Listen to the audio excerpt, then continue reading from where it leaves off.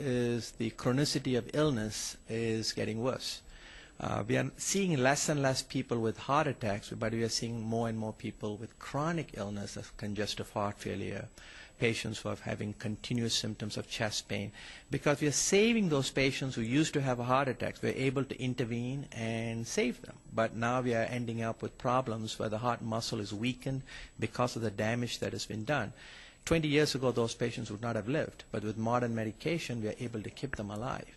And now we are reaching the next stage. Stages we've already maximized the medical management.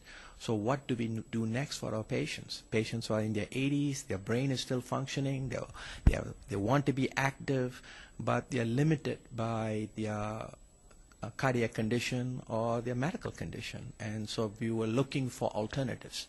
In 1999, when I was sitting for my interventional boards, at that time I was reading a, a bunch of articles, and I came across articles on L-arginine. And I said, wait a minute, this is a drug that converts into nitric oxide, and that is the drug that we give as sublingual nitroglycerin that also converts into nitric oxide. What a novel idea, where you do not have so-called tachyphylaxis or tolerance to the drug, but now we can give this nutritional supplement in very high quantities and, and high uh, uh, uh, frequency that will mimic nitroglycerin without all the side effects.